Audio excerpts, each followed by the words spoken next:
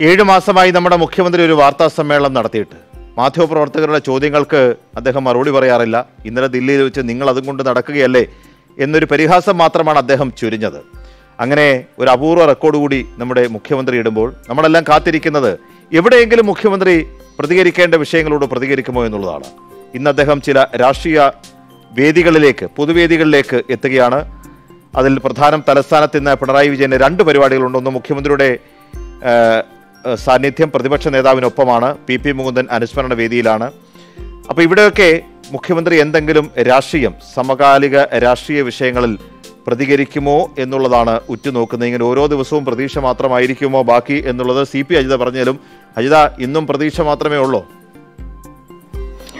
P G കുറേ ദിവസമായി അതൊക്കെ കുറേ ആഴ്ചകളായി മുഖ്യമന്ത്രിയുടെ മൗനമാണ് പ്രധാന ചർച്ചാ വിഷയം. രാഷ്ട്രീയ കേരളത്തിൽ വിവാദ വിഷയങ്ങളോട് പോലും മുഖ്യമന്ത്രി പിണറായി വിജയൻ ഒരക്ഷരം പ്രതികരിക്കാതെയാണ് മുന്നോട്ട് പോകുന്നത്. മാധ്യമങ്ങൾക്ക് മുന്നിൽ എത്തിയിട്ട് ഏഴ് മാസം പിന്നിടുകയാണ്. മാധ്യമപ്രവർത്തകരെ അഭിമുഖീകരിച്ചിട്ട് ഏഴ് മാസം പിന്നിടുകയാണ്. കഴിഞ്ഞ ഫെബ്രുവരിയിലാണ് അവസാനമായി വാർത്താ സമ്മേളനം മുഖ്യമന്ത്രി പിണറായി വിജയൻ വിളിക്കുന്നത്. അതിനുശേഷം മാധ്യമപ്രവർത്തകർക്ക് മുന്നിൽ എത്തിയിട്ടില്ല. പൊതുവേദികളിലും ശക്തമായ രാഷ്ട്രീയ പ്രതികരണങ്ങളിലൂടെ ശ്രദ്ധേയനായിരുന്നു പിണറായി വിജയൻ.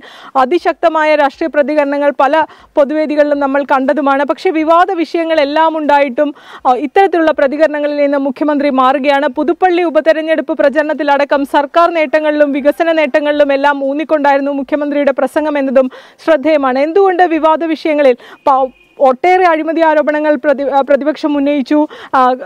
റോഡിലെ ക്യാമറ അതുപോലെ തന്നെ കെ ഫോൺ തുടങ്ങി മാസപ്പടി വരെയുള്ള ഒട്ടേറെ ആരോപണങ്ങൾ അത് മുഖ്യമന്ത്രിയെയും കുടുംബത്തെയും എല്ലാം നേരിട്ട് ലക്ഷ്യം വെക്കുന്ന ആരോപണങ്ങൾ പോലും ഉണ്ടായിട്ടും മുഖ്യമന്ത്രിയുടെ മൗനം തുടരുകയായിരുന്നു. ഏറ്റവും അവസാനം നിയമസഭയിലാണ് മുഖ്യമന്ത്രി ഇക്കാര്യത്തിൽ ഒരു വ്യക്തത വരുത്തി അതിൽ ഒരു ചെറിയ പ്രതികരണമെങ്കിലും നടത്താൻ തയ്യാറായത്. മാസപ്പടി വിവാദത്തിലും അതുപോലെ തന്നെ കെ ഫോൺ വിഷയത്തിലും ഒരു ഇതിലൊരു അഴിമതി ഇല്ല എന്ന് പറഞ്ഞു വെക്കുക മാത്രമാണ് ചെയ്തത്. അതും ഇത് എന്തുകൊണ്ട് നേരത്തെ ഇതായിരുന്നു മറുപടിയെങ്കിൽ എന്തുകൊണ്ട് നേരത്തെ ആയിക്കൂടാ എന്നൊരു പരിഹാസത്തോടു കൂടിയാണ് പ്രതിപക്ഷം നേരിട്ടത് എന്നതും ശ്രദ്ധേയമാണ്. ഏതായാലും പുതുപ്പള്ളി ഉപതെരഞ്ഞെടുപ്പിൽ കനത്ത തോൽവിയാണ് ഇടതുമുന്നണി നേരിട്ടത്.